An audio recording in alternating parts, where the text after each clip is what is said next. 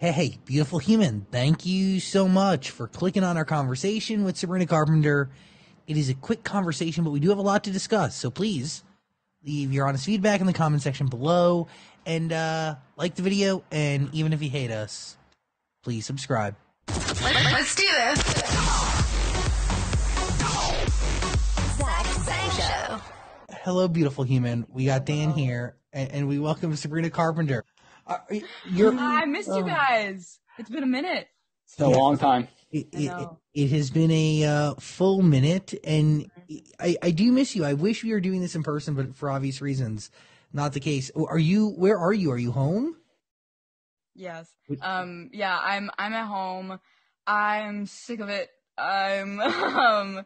I really like didn't realize how much I need traveling and to like get out. Uh, until until this year, because I started the year in New York and I was so excited to be living in New York. I was like, my twenties, New York, it feels right. Um, and then that was just, you know, yanked underneath me. So But you know, everything does happen for a reason. You were supposed to be on Mhm. Broadway. You were supposed to be in Mean Girls, but uh, universe said no. You know, the universe said not for you. by the way, you look very uh, good educated energy going on here with that map behind you. I mean, yeah, well, I'm smart, you know, so I just wanted to to showcase that yeah, mostly. Um, yeah, and the turtleneck. yeah, it, it is uh, cultured and educated, just as It's the school teacher vibes. I have glasses somewhere. I I genuinely uh do have reading glasses, but I never use them. But apparently, I I my left eye is not as strong as my right. So, so how do you read? How, how do you see? Just with the right, I just do that. Okay, got it. That Um, makes sense. Sabrina, I haven't seen your name in the news much recently. What have you been up to? I haven't either.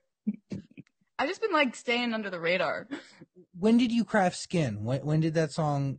When did you get into the studio to write it? Um, Skin, uh, which is so crazy. I mean, I was, and I've been, um, because I, you know, just newly signed with Island, and that's a, a new relationship that you guys have known me for so long now. So you know that this is kind of a, a really big change for me. Um, but I've been writing throughout the entire quarantine, and, and some of the stuff that was coming out of that was just very, very much new and personal and different for me, and felt like uh, an evolution on its own. Um, so naturally, I think, you know, I, I was continuing to make music, um, and I was just in the studio and right place, right time, right feelings. Couldn't really avoid it or or kind of get around it in any sort of way. The only the only way to work through something is to work through it and and not you know avoid it. So um so I just wrote kind of about what I was feeling. You've been writing for for months and months and months, like going back, like March Yeah. 2020. I mean, the second the second that I stopped Mean Girls, I got home and I was just like, well, Ah. this is like a weird blessing in disguise, and I'm just gonna I'm gonna write everything I'm feeling, and at the same time, I was like, I'm gonna experience everything that I need to experience because like I just turned 21. Um, you know, it's it's it's a very complicated. You think you you think you know. I thought when I was 18, 19, it was hard, and then it's just gotten crazier and crazier inside. Um, and it's been something that I'm I'm navigating like anyone else, except the only difference is like you're reading articles about it. You know, well, so that's it- weird. It's people are reading articles, but the articles are coming from the music, the art. Yeah. To the listener, it feels like it's so personal and true and honest that, like, yeah, people are inferring things and and essentially that's, drawing that's whole the, story. That's the tough thing, and that's the tricky thing with uh, being honest with yourself, and then you know being honest enough to put it out into the world because you know that people are going to misinterpret it, like regardless. And I'm very you know aware of that, um, and I'm sure other artists are aware of that. Like it just it just is what it is, and um, that's why I think it was so important for me that like skin it it it really like I cannot stress this enough is not about one person. Like I, I've I've had so many different experiences in the last year in my personal life and in my my career um, where there was a lot happening and I couldn't do anything about it and I couldn't say anything because it seemed like either way people were mad at me um, and that's kind of essentially what I got to at this point too. I was like, wow, it seems as though I can say nothing at all or I can say something and people will still find a reason to be mad. Um, and that is not just something that I deal with. It's something that everybody deals with in their life. So what changes that kind of motivates you or allows you to be honest and open and vocal? Um, I'm a Taurus. No, I don't. I don't know. Uh, I guess. I guess no. It, it really just comes down to the point, like what I said before. It's like I could have tried to ignore it. I could have tried to get around it. But the fact is, is it wasn't one thing. It wasn't one thing that I was addressing. It wasn't one situation I was addressing. There was so many things that I felt the need to write something that I could remind my younger self or my past self, something I wish I could have told young Sabrina, which is that like this is going to continue to happen and it's going to get harder and harder. It's it's up to you to uh, choose whether you allow it to affect you, um, or if you just tell yourself to brace through it and focus on your inner peace and your inner happiness because everyone's out here protecting themselves. Um, I, I also think it's it's such an interesting relationship with the internet um, and and social media that like people will sit there and write their comment and all they're thinking about is their comment. They're not thinking about the hundreds of thousands of other comments that are also being written. And I don't think they genuinely think that we'll see them. That's the mm-hmm. other thing. I really do think that people are just, you know, they want a voice and that's great. I, I wish people would want a voice in a more positive way. Um, you know, and, and I'm kind of finding my way there too and, and finding the best way to navigate. But I'm human. Everyone's human. And, uh, you know, again, just a songwriter writing a song. In, in, your Instagram post where you said it wasn't a diss track, you said you're at the tipping point for, for many reasons. Yeah. What, what, what are those reasons then? Um, eh, you know, I have my own, believe it or not, there's a lot of things in here, there's a lot of things in here. Um, and, you know, I've, I've had relationships come in and out of my life in the last two years that have been like the first time that I've ever experienced some more intense relationships um, and and intense endings to those relationships as well. So that was uh, definitely something that I was navigating um, and and like the after effect of kind of not even just you know relationships but friendships like everything and I kept finding myself kind of having to like silence the way that I was feeling or just like I said, like, you know, keep brushing it under the rug and moving past it because I think people expect me to not get involved. Um, and that's something that I've, I've done for a really long time or I've, I've tried to for a long time. Um, but there's just no, like I said, there's just no pleasing everybody. So, um, I try, I tried to do what would feel best and most honest to myself. Um, that's where we got to the music is more honest and, and I feel like that just from skin, I'm assuming that that like in a certain way lays kind of a foundation for what's to come. Uh, would you say honesty is that? Yeah, I mean it's funny though. Like I wrote a song about getting sued after I got sued. Like it's people are surprised, which makes me surprised. You know what I mean? Mm-hmm. Like in different situations, but I was at different points in my life. I wrote a song called Exhale when I was also dealing with the time where my mental health was just not it, chief. You know what I mean? And so I'm like at this place now where this was a common theme in my life, you know, and and just like I guess the concept of people getting under your skin was something that I liked because uh, it felt like a concept that people might hear a title "Skin" and think it's a different song than what it actually is. And um, as a songwriter, that's always like, you know, ear candy, um, and I liked that. And um, and again, you know, I feel like it was an exciting moment for me to just be able to really, really tackle what I was like.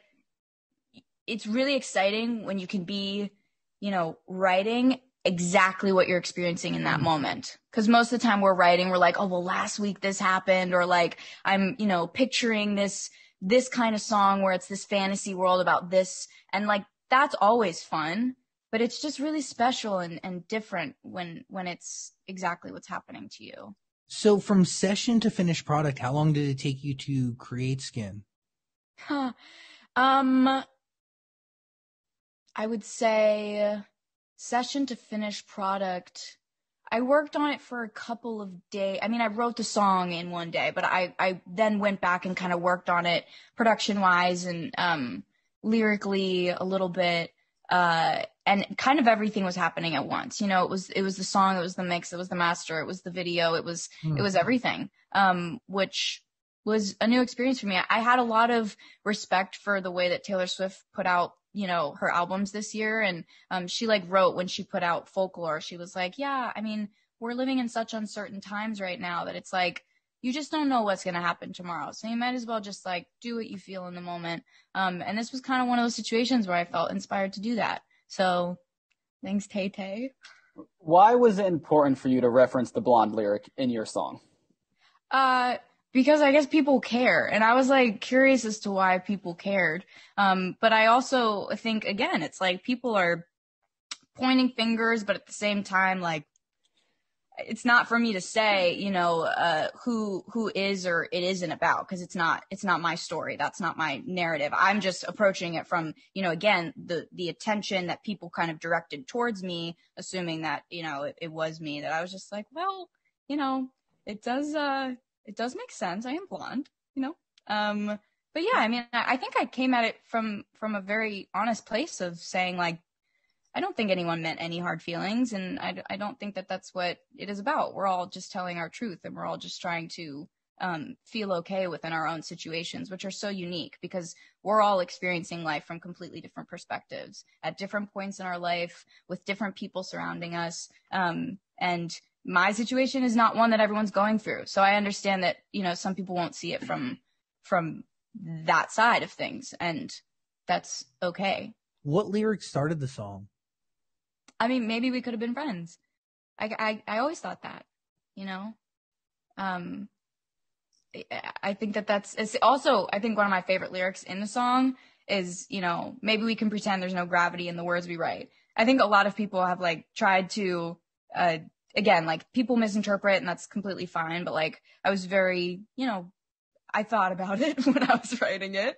Um, and, and saying, you know, maybe we can pretend there's no gravity is saying there, there's a lot of weight in words, um, even though sometimes we don't treat it as such. Uh, but there, but there really is, and and they're powerful, and they can do a lot to people, um, and in a good way and a bad way. Um, so I was on the receiving end of the bad way, uh, which a lot of people have been there.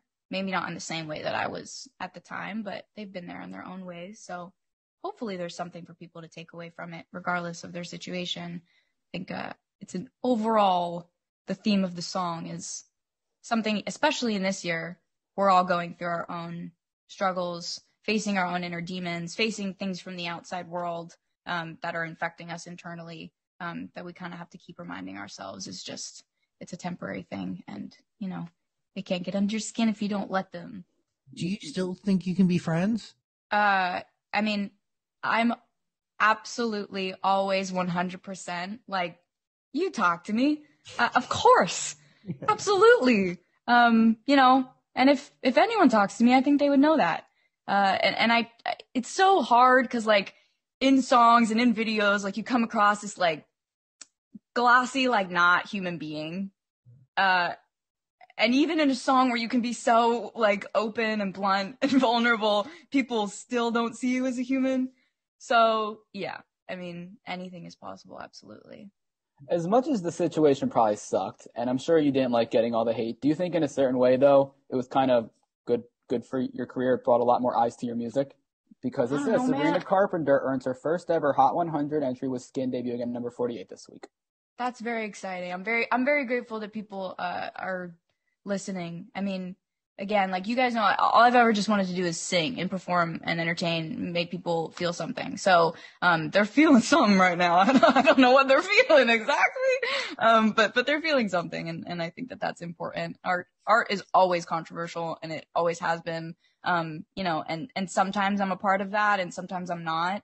Um, I'm, I'm just grateful. Obviously there's a reason everything's happening the way that it is right now. So I'm just trying to keep that in check we're talking about everybody else's takeaway from the song, but what is your takeaway? What do you learn from it now that it from now that it's out there that now that it's made? How how do you grow?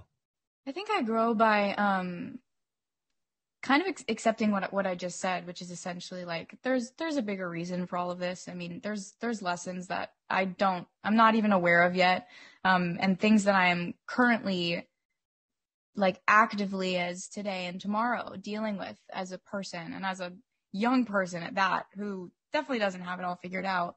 Um, but it is, it's that constant reminder to just keep skin as thick as I can because, you know, it, I've, through all the through all the pain and through all the struggle that that has happened, um, I've also experienced a lot of happiness and a lot of like pure like joy and love, and um, it's something that I I hope to find more of.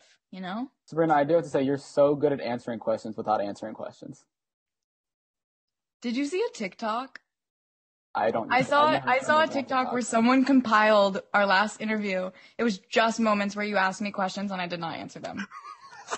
You do it every time. Every time I'm sitting here listening to you answer questions, I'm like, I don't think you're really saying anything. You're talking, but I don't know how much you're really No, yeah. That hurts. That hurts because I do feel like I'm saying things if you're paying attention. Yeah. Um, I'm, You are- maybe I'm not saying the things you want me to say because I, I do think a lot of people like th- they want me to start. I'm not out here to start. I'm Okay, just. maybe I didn't mean that you're not saying anything, but you're you're, You're like you're at, not saying anything juicy. There's no there's no headlines for me. You- no, you're very good at dancing around it. It's you're very good at it. It's uh, take it's skill. Take skill. You're very kind. How many songs do we have done? And what's next? An EP or an album? What's the plan? everything's in the works right now but I, I am figuring it out and i want it i want it to be um you know a, as good as i think it can be and i'm i'm uh there's a lot that i'm really excited about though i will say and i, and I dropped a couple of easter eggs in my music video so Yeah, what's happening April 23rd, 2021? i don't know what you're saying Oh yeah, you don't. i don't i don't i will say some of those easter eggs were um on purpose and some of those were not Okay, okay, But okay. that's that's what's fun. It's like a game of Blues Clues. You keep them speculating, you know. Okay, Dan, one more question. Do you have anything? I have a You lot of questions. No, we can text afterwards. Okay. What? Do you want can we get one more? Do you have one more question? Are you? Is there, okay. Are you sure? I feel terrible. No, don't. Can you tell us a little bit about this modern twist on Alice? Oh, um, yes. I, I I pitched this project that's like my dream project over Zoom during quarantine to different studios and, and Netflix. Um, Netflix was the perfect home for it, but I'm like the biggest Alice in Wonderland fan, and it's it's basically a modern day musical, but Wonderland is a music Oh. festival. Um, so it's all you know, all the artists are all your beloved characters, but it's very new and very different, and uh, I'm I'm so excited. Sabrina Carpenter, I, I appreciate you. I thank you for taking the Appreciate you. time. Always, Have an amazing day. Uh, guys. peace and love. Peace and love. We'll talk to you soon. Thank you. Guys. Bye. Bye.